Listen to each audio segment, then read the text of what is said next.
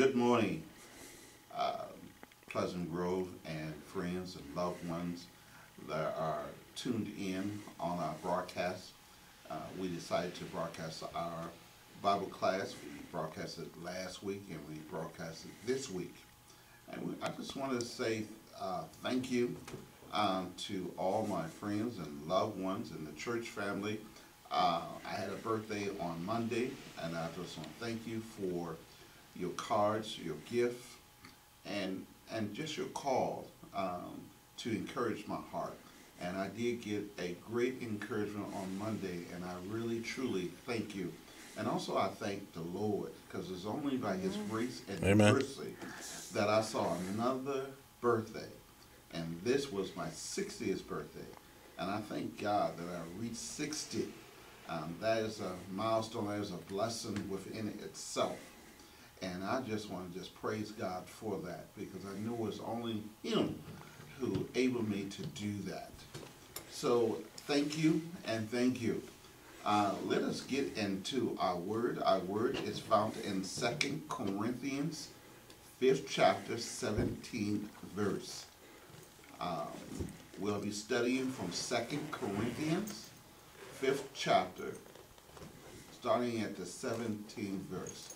Let's have a little prayer over our word. Our Heavenly Father, Lord, I'm coming first of all to say, forgive me, forgive us for all the sins, Lord, that we have committed by commission or omission. And Lord, I'm coming to just praise your name for waking me up this morning, starting us on our many different journeys, Lord. And Lord, I just want to say thank you, Lord, that you Thank you. protected me all last night, Lord, from all harm and danger, Lord. We just want to thank you. Thank And you, Lord. I just want to thank you, Lord, for having a heart and having a mind to come out to House of Prayer once again, Lord, to learn more about your word. Lord, I ask you to guide me, Lord, to give me what to say to your people. And Lord, that your people might be ready to receive what you have for them. Lord, that they might have TV, radio, and all those things shut off and ready to receive the word of God. Yes, we pray all these prayers in Jesus' name. We In pray. Jesus' name. Amen. Amen. Amen. So we are studying from Second Corinthians 5 and 17. And uh, the 17 verse says, Therefore, if any man be in Christ, he is a new creature. Old things are passed away. Behold, all things are become new.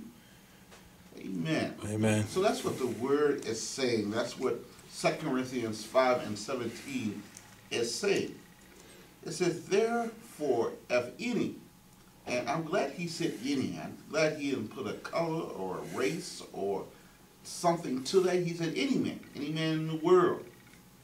Uh, therefore, if any man be in Christ, all right?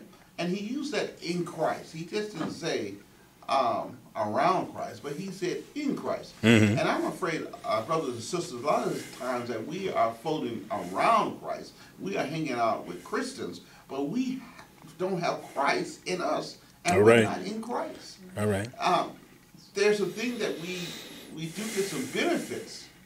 Believe me, you can get some benefits. God said, "I rain on the just as well as the unjust." So you can get benefits, but don't mean that you're in Christ. Because if you're in Christ, you develop a relationship Mhm. with God, and that relationship that you uh, uh, develop with God, it happens over time. You get to know Him. You you uh, you try Him. You go through the ups and downs, the storms. Uh, you go through and you develop a relationship with Him. And relationship, every true believer have a relationship with Christ. Yes. You gotta know who He is. Mm-hmm. And and then not only that, when you have a relationship and Christ is in your heart, there's certain things that you're not going to do. All right. Amen. All right, and if you do them, you'll know better because the Holy Spirit is working on the inside. Amen. And, and that's what I like about when he said in Christ, all right? And so a lot of us, we need to check to make sure we in Christ and not just out of, of Christ. you could be around something and not be into something. All right. All right? Because when, when you get into something, I remember when I was, uh, went to apply f- uh, for a job at St. Mary's Hospital, and I walked around St. Mary's, but I wasn't in St. Mary's, but I walked around. I said, ooh, I would love to work at St. Mary's. Mm-hmm. What it took for me to work at St. Mary's, I had to go and apply to work in St. Mary's. So I filled out an application and I went in there and I talked to the supervisor and, and the next day he called me and said, hey, you hired. And so I went outside of St. Mary's. I was inside St. Mary's then. And they told me everything I had to do, who I was under, and who was over me, and the rules and regulation of the hospital. I was in the mix. All right. I wasn't outside anymore. I was working in St. Mary's. And this is the same way with Christ. We got to be in Christ. And when Christ employs us, all right, we are under him. Mm-hmm. All right? And he tells us all the rules and regulations what we have to do. And so when we in Christ, we don't mind taking orders from Christ. All right. A lot of times when we uh, want to get in something, when we see that there's somebody going to be over us, we, we shy away from him. But I guarantee you, when you are in Christ Jesus, you don't mind it. Because you know that he is the one who kept you from danger and harm and all those construction things that could happen to us. And so all you had to do is really think your mind back and know where you was before you met Christ All right. and and and I can run my mind back uh, and how Christ had did so much for me and so much to me. Um, when I think about His goodness and I think about His mercy, all that time when I didn't have Christ in my life, and I was doing some things that I know Christ wasn't happy with, Mm-hmm. but I thank God for His mercy and His grace Amen. that he covered me all that time that that I was living without God, that I was around me, but I went in Christ Mm-hmm. and he took care of me. And I can think of hundreds of times that I did what I wanted to do, said what I wanted to say. All those times he kept me. And I praise God for him keeping me long enough to accept him as my personal savior. All right. And so now I say, therefore, if any man be in Christ, Mm-hmm. he's talking about me because I'm in Christ. All right. And I have his Holy Spirit living inside of me. My father used to sing a song, wrapped up, tied up, tangled up. Mm-hmm. And when, you get in Christ, you wrapped up. Mm-hmm. You're tied up and you're tangled up. And nobody can mm-hmm. untangle you from Christ because they don't know which way to start because you are in Christ Jesus. Mm-hmm. Man, and now I understand what he was talking about. And then he said, the world can't do me no harm. All right. Amen. And so I understand what he is talking about.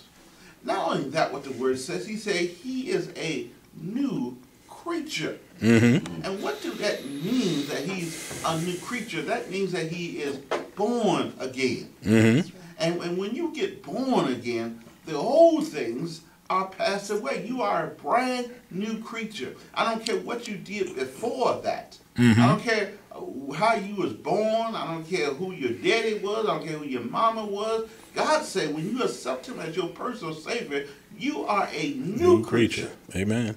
in Christ. And so by being a new creature, we started off fresh Mm-hmm. we started off brand spanking new. So anything that we get, we get it from Christ, and He feeds us into our spirit, and we're no longer the old person that we used to be. All right. And I know a lot of times people say, you know, I was born this way, I was born that way, but you need to be born again. All right. And that's what Christ said. You need to be born again.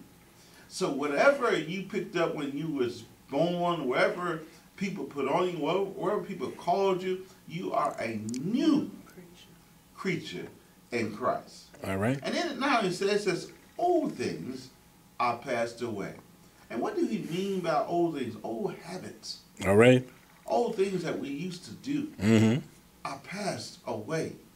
And what he is saying, you know, remember we used to have anger? Remember we used to be a peace breaker? remember we used to have war? Remember we used to do evil things? Those things are passed away. All right. Because said old things are passed away. And that passed away, that is past tense. That Mhm. is back in my past. Yes. I, I, I, I remember what I did, but I don't remember the pain that associate with those things. And God don't really want us to forget where He brought us from. All right. He told the children of Israel, He said, "Don't forget.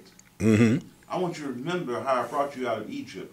I want you to remember how I brought you over the Red Sea. I want you to remember how I brought you through that desert land. I want you to remember that I kept you cool in the day and, and warm at night. I want you to remember that I gave you food from heaven. I want you to remember that I had quails walk into the camp and all you had to do is grab them and eat them. I want you to remember that you got water for rock. God don't want us to forget those things that he brought us from and brought us through because we need something to praise God about. All right. And I can just praise God just about my past. Mm-hmm. Not talking about the present or the future, but I can just praise him for what he has brought me through. All right. And I know we all have a testimony. We all have something that we can say and we can praise God th- through on Sunday morning. That's why I can't wait when this is all over hmm. and we come back to service. We're going to have a shouting hallelujah time. All right. I mean, it's going to be a service off the chain. I'm hmm. telling you. I, I, I just can't wait. I can feel it right now.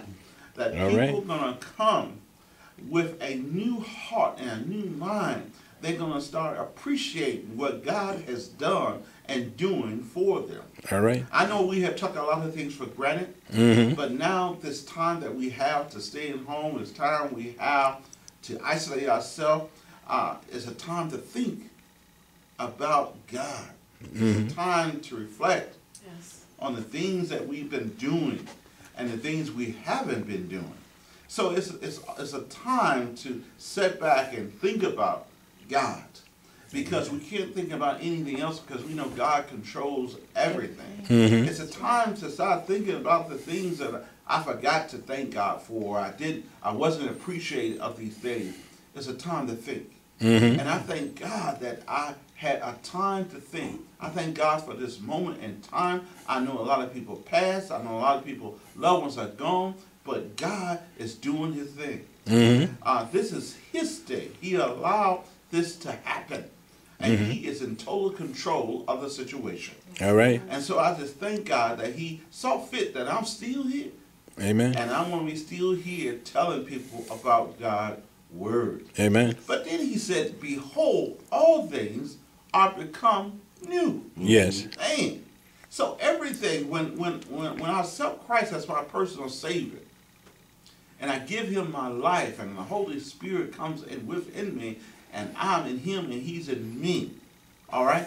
And, and, and then things has become new because I'm a new creature in Christ. All right. All right? Old things has faded away, so all I have is nothing. I'm brand spanking new. Mm-hmm. And so I should be ready for God to pour into me mm-hmm. wherever He wants to pour into me. And that's the way He wants us. He wants us to be a empty vessel when He get done with us, mm-hmm. so He can fill us up with His word, His law, and His rules and regulation. Mm-hmm. So that's why He said, "I become new." I don't know anything else. I become new. And in scripture, Ephesians 4 and 22 says that ye, that ye, but of certain the formed com- the formal conversation, the old man, which is corrupted according to the sinful lust, Mm-hmm. and to be rewarded in the spirit of your mind, and that ye put on the new man, Yeah. All right. which after God is created in righteousness Yes. Mm-hmm. and true holiness. So our old conversations, you know how we used to joke around and, and, and tell dirty jokes, that gotta go. Mm-hmm. mm-hmm. People, that gotta go. You can hold on to the old conversations, talking about women, talking about this, talking about that. That had to go. Mm-hmm. And I know sometimes we think we can hold on to something on the past, but God said, no, let all that go, because that's not a way a Christian should conduct themselves. All right. So we cannot hold on to all those crazy things that we used to do. Another scripture is Philippians 3 and 7. It says, But what things was gain to me, those I have counted loss for Christ.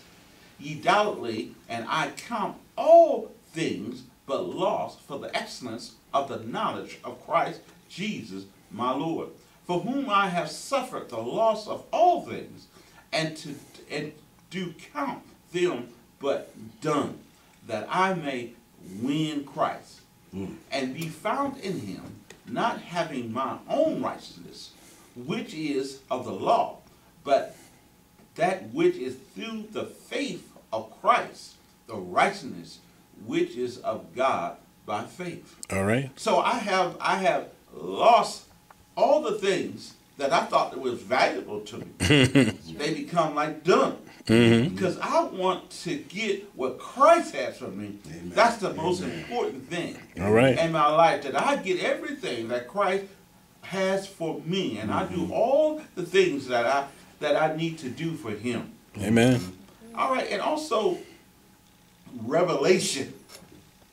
Revelations 21 says, And I saw a new heavens and a new earth. Mm-hmm. For the first heaven and the first earth was passed away, Mm-hmm. and there was no more sea. And I, John, saw the holy city, New Jerusalem, coming down from God out of heaven, preparing as a bride a door for her husband. And I heard a great voice out of the heavens say, Behold, the tabernacle of God is with me, and he will dwell with them. All and right. they shall be his people, and God himself shall be with them, and be their God. And God shall wipe away all the tears from their eyes. Mm. There shall be no more death, no more sorrow, no more crying, neither shall there be any more pain. For the former things are passed away. Mm-hmm. And he that sits upon the throne said, Behold, I make all things new. And he said unto me, Write, for these words are true and faithful. All right. And I just praise God for that scripture out of Revelation. That when we know that when the end comes, we know what we're going to look for. We're going to mm-hmm. look for Christ. Yes. Amen. And we won't have to look for it because he's going to be caught up in the air. But what I like about it, he said, I'll wipe all the tears from your eyes. There'll be no more death. There'll be no more sorrow. There'll be no more pain. And, and brothers and sisters, I want to be there. And I'm making preparation right now down on this earth because I am a new creature in Christ. Mm-hmm. And all things are passed away. And behold, all things are become new. Mm-hmm. So I thank God for this lesson. I thank God for this passage of scripture. And I want you to think about it. I want you to read it. And I want you to sit back and meditate on that word. And when you meditate, God is going to give you something that's going to encourage your heart. Mm-hmm. And I hope your heart has been encouraged um, by this uh, passage of scripture. And I just want you to read it and read it and get it down into your heart and your mind and your soul. So let's have a word of prayer. I be Father, Lord, we thank you for this word. We thank you, Lord, for you being you. Thank you, Being Lord. you all by yourself. Thank you, Lord. Lord, we thank you, Lord, that you're my God and you're my Lord. We thank you, Lord. Lord, that you gave us this portion of scripture. And Lord, let us be able to read it. And Lord, bless us with the understanding of your word. Lord, that we may apply it to our many different lives, Lord.